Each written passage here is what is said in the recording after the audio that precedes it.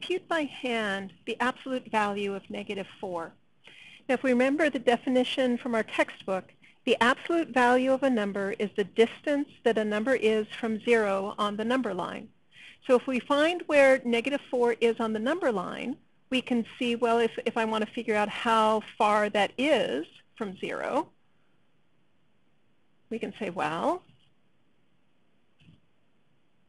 if we take a look at that, from 0 down to negative 4, is we have to go down four places. And so we would say that the absolute value of negative 4 is just 4. The absolute value of negative 4 just equals 4. It's a positive 4. We don't need to write the positive sign because if we don't show a sign in front of the number, we understand that it's a positive number. In our next example, finding the absolute value of 3, well, if we find 3 on our number line and say, well, how far is that from 0? It certainly, I hope, makes sense to say that, yep, sure enough, 3 is 3 away from 0. And so we would say that the absolute value of 3 just equals 3.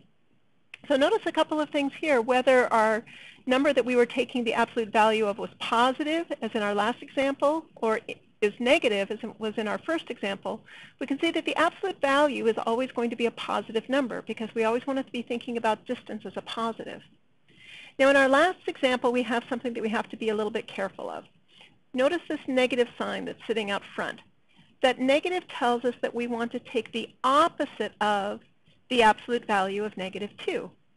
So if we want to think about that carefully, we say, well, that negative sign that's out front that's telling me take the opposite, I'm just going to bring that along with me for a second. And now I'm going to say, well, what is the absolute value of negative 2? If we find negative 2 on the number line and say, well, where is that in relationship to 0? We'd say, yep, sure enough, negative 2 is two spaces away from 0, two units away from 0. So the absolute value of negative 2 would be just 2. So the absolute value of negative 2, we said, is 2. But remember that negative sign that was out front that we still have to keep track of. We want to be sure that we don't lose that. So that negative sign I'm going to just bring down here.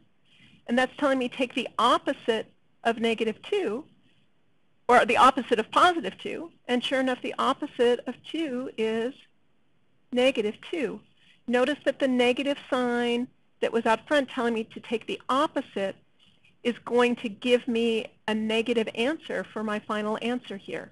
Even though absolute value itself is always positive, that negative sign out front turned my final answer negative.